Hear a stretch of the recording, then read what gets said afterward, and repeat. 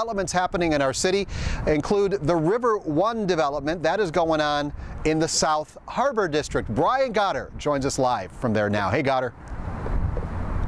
Hey, it is a gorgeous building. I know many of you have seen it. Have you been driving up and down 94 over the past year or so as they've been building it? And uh, Michels Corp has done a fantastic job. I'm joined with Matt Fahey here, who's in charge of trying to help this campus out. Yes, exactly. And great to be on the Michels rooftop deck here, as you can see. Oh, that's great. Uh, but this development is unlike the, any that Milwaukee truly has ever seen. It it really blends a great mix of uses from what we're standing on, which is office building one, the office tower we have, where Michels occupies the top three floors, and then we have four full floors of availability for future tenants. For anything we want?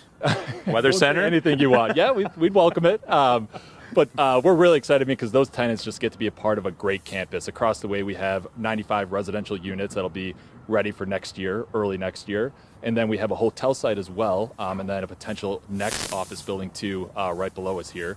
Um, and then we are pretty much on top of 1,100 parking stalls. So um, it's really an all in one. Um, and then without even, uh, or I should say, needless to say, we're in one of the coolest neighborhoods in Milwaukee within Bayview here. So, um, and then in addition to that, we're right on the Riverwalk. So we have access right onto the riverfront where we can actually get 50 boat slips uh, that surrounds this campus. So, so here I thought it was just a building going up, and it was a fantastic building by uh, Mr. Michels, but this is a campus. Absolutely, it's a full this campus. changing this neighborhood. Exactly. I mean, you're two blocks away from the KK2. So uh, again, you just can't beat the location, and then what they're building within this entire campus.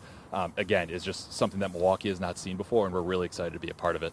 And for these uh, apartments, you are on the river, so there's going to be access to that. You're parking underground, so you don't have to deal with Wisconsin elements. I mean, this is fantastic. Yep. Thank you very much. Absolutely. This is great. And also, the water that they use, the runoff of this building, they're used for their the planters, which are all over this building, and then they filtrate that and then put it back uh, into the river system.